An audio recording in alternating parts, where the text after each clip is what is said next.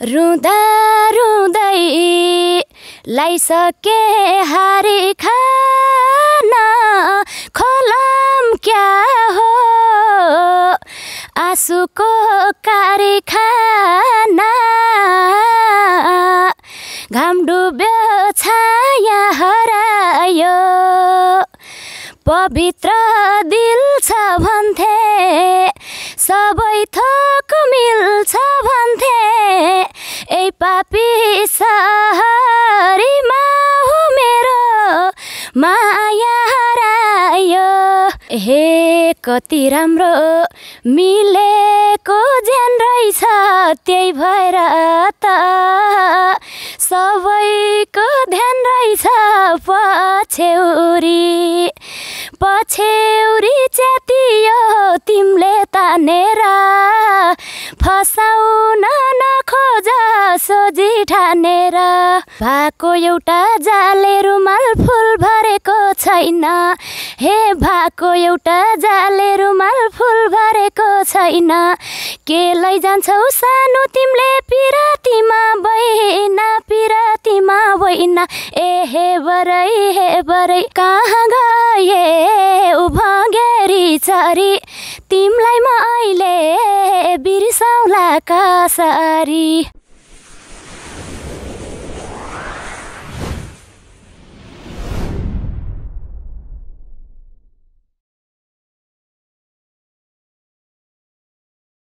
दर्शकवृन्द नमस्कार तथा हार्दिक स्वागत गर्न चाहन्छु रामारसन अनलाइन टिभी र बिएस डिजिटलको संयुक्त प्रस्तुतिमा। यतिखेर हामी काजल बहिनीको घरमा आइपुगेका छौँ र तपाईँले ब्याकग्राउन्डमा देखिराख्नु भएको दृश्य काजल बहिनीको घर हो। लोकदोहोरी क्षेत्रमा अहिले एकदमै चर्चा कमाउन सफल। काजल जोशीको घरमा यतिखेर हाम्रो टिम आइपुगेको छ र हामी ढिला नगरी काजल बहिनीसँग कुराकानी गर्छु र उहाँको प्रस्तुतिलाई पनि तपाईँहरू समक्ष देखाउँछु। स्वागत छ रामारसन अनलाइन टिभी र बिएस डिजिटलमा। हजुर थ्याङ्क यू सो मच अहिले तपाईँ गुमनाम हुनुभएको छ।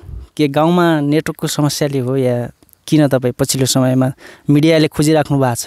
किन? अब हाम्रो गाउँमा नेटवर्क छैन त्यही भएर नेटवर्क नभएको बेला भएर पनि सम्पर्कविहीन। हजुर। हामी एउटा गीत सुन्छौँ र त्यसपछि अन्य कुराकानीलाई जोड्छौँ। हजुर एकदमै देउसी भैलोको रमाइलोमा लागेर खासै आवाज त छैन। तैपनि म सुरुवातमा चाहिँ एउटा गीत गाइदिन्छु। रुँदा रुँदै लाइसके हारी खान खोलम क्या हो? आँसुको कारखाना घाम डुब्यो पवित्र दिल छ भन्थे सबै थोक मिल्छ भन्थे। ए पापी सहरीमा हो मेरो माया हरायो। धन्यवाद। हामीले काजल बहिनीसँग दोहोरी पनि गऱ्यौँ र यो दोस्रो इन्टरभ्यू पनि हो। तपाईँहरूको माया र साथको कारणले हामी आज काजल बहिनीको घरमा पनि आइपुगेका छौँ र छिट्टै तपाईँले काजल बहिनीलाई इन्द्रेणीमा पनि देख्न सक्नुहुनेछ।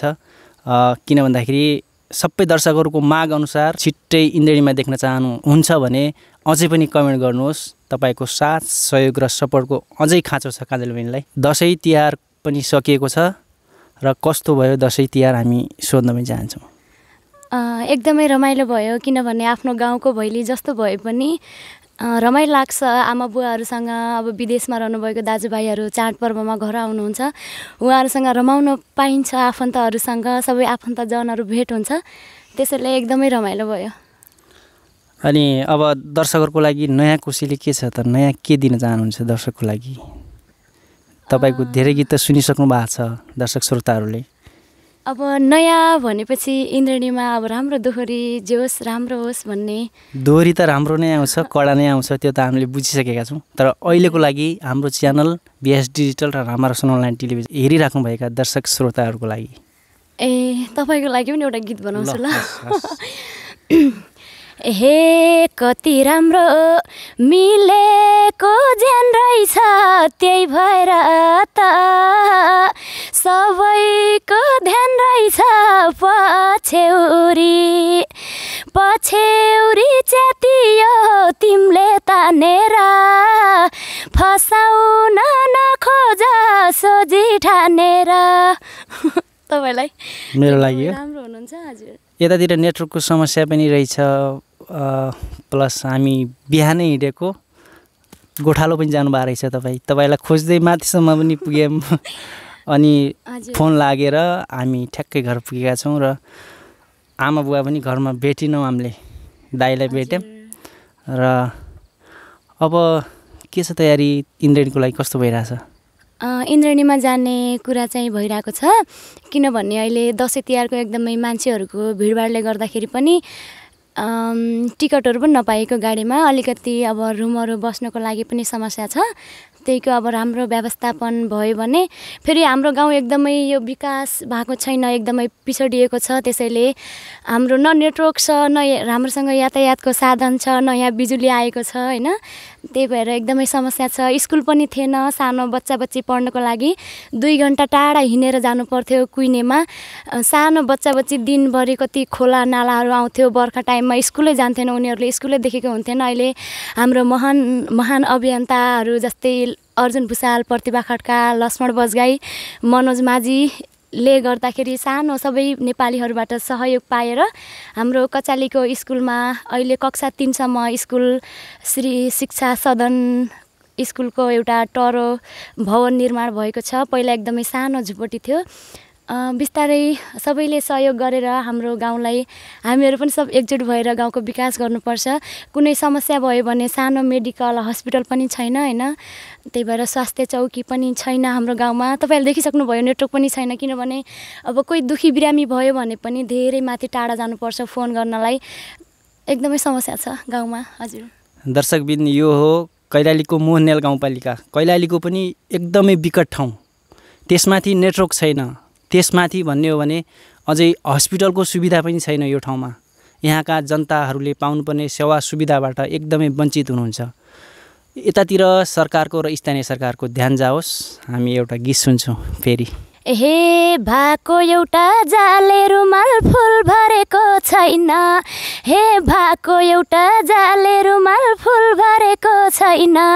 के लैजान्छौ सानो तिमीले? पिरातीमा बहिना पिरातीमा बहिना ए हे बरै हे बरै सालको पातको टपरी हुने हे बरै नहुने सल्लाइको तिम्रो माया कति छ कति हे बरै नलाउ पछि हल्लाइको हजुर धन्यवाद। एकदमै मिठो गीत गाउनुभयो। तपाईँको चर्चा जति गरे पनि कम हुन्छ जस्तो लाग्छ मलाई।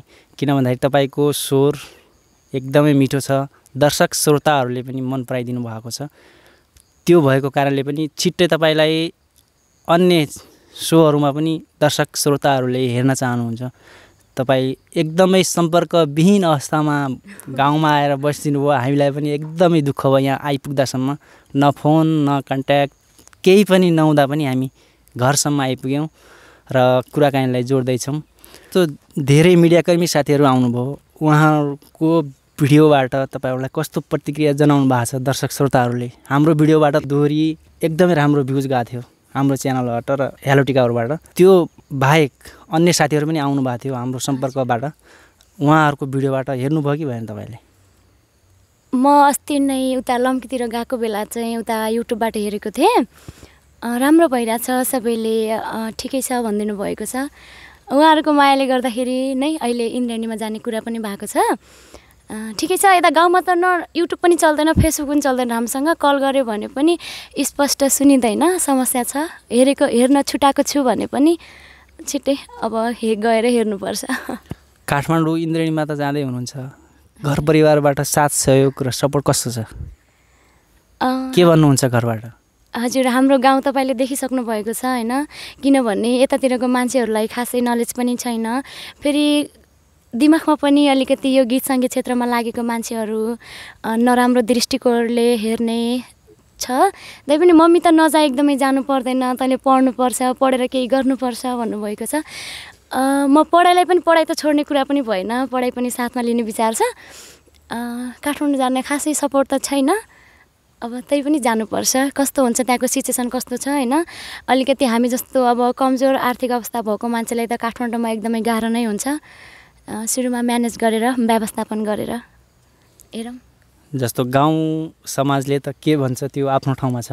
तर तपाईँको घरबाट साथ सहयोग र सपोर्ट हुनु पऱ्यो काठमाडौँ गएर इन्द्रेणीमा गइसकेपछि पढाइ त छँदैछ। पढाइलाई त निरन्तरता दिने कुरा भइहाल्यो। सँगसँगै यो कलाकारिता क्षेत्र पनि छ। तपाईँ जस्ता कलाकारहरू अथवा नवप्रतिभाहरूले विलय हुनु पर्दैन अथवा हुनु हुँदैन भन्ने हाम्रो पनि मान्यता हो। त्यो भएको कारणले पनि तपाईँलाई सबै दर्शक श्रोताहरूको साथ सपोर्ट र सहयोग रहनेछ भन्ने म विश्वस्त छु यो कुरामा। अब हामी एउटा गीत सुन्छौँ र अब लास्टमा चाहिँ बिदा हुने तर्खर गर्छु। हे कहाँ गए उभगेरी चरी? तिमीलाई म अहिले बिर्साउला कसरी? ओके अब? बाँकी चाहिँ इन्द्रणीमा गएर दिन्छु। एकदमै। दर्शकवृन्द हामी काजल बहिनीको घर आएर भिडियो पनि खिचेका छौँ र अन्तिममा रामारोसन अनलाइन टिभी र बिएस डिजिटल हेरेर बस्नुभएका दर्शक श्रोताहरूलाई के भन्न चाहनुहुन्छ? र म त कुनै ठुलो गायिका पनि होइन किनभने आजसम्म कुनै एल्बम रेकर्ड पनि भएको छैन। नवप्रतिभा हेलो टिकापुरबाट अङ्कित उप्रेती सरले पहिलो इन्टरभ्यू लिनुभएको थियो। त्यसैले गर्दाखेरि आजसम्म यो स्थानमा इन्द्रणी जानेसम्म कुरा भएको छ। एकदमै तपाईँहरूको माया साथ बिना हामी एकदमै अधुरो पनि छौँ। हजुरले हाम्रो भिडियोलाई के कस्तो लाग्छ? सेयर सब्सक्राइब अनि कमेन्ट गर्न नबिर्सिनुहोला। केही कमी कमजोरीहरू छन् भने सजेसन दिनुहोला भन्न चाहन्छु। जङ्गल गाउँको मान्छेलाई बोलाएर हामीले इन्टरभ्यूको लागि तयार गऱ्यौँ। यो दुःख तपाईँले जुन हामीले तपाईँलाई दुःख दियौँ यसको लागि क्षमा याचना पनि भन्न चाहन्छु र तपाईँले दिनुभएको समयको लागि पनि धेरै धेरै धन्यवाद दिन चाहन्छु। तपाईँको आगामी यात्रा सफल र सुखद रहोस् र इन्द्रेणीको कार्यक्रम पनि एकदमै भव्य होस्। सबै दर्शकहरूले तपाईँलाई मन पराउन् तपाईँको भिडियो खोजी खोजी हेरुन्। भन्न चाहन्छु। हजुर थ्याङ्क यू सो मच तपाईँ पनि धेरै टाढाबाट एकदमै दुःख गरेर हाम्रो गाउँमा राम्रोसँग रोडको व्यवस्था पनि छैन उकालो गरेर आउनुभयो। त्यसको लागि तपाईँलाई पनि धेरै धन्यवाद दिन चाहन्छु।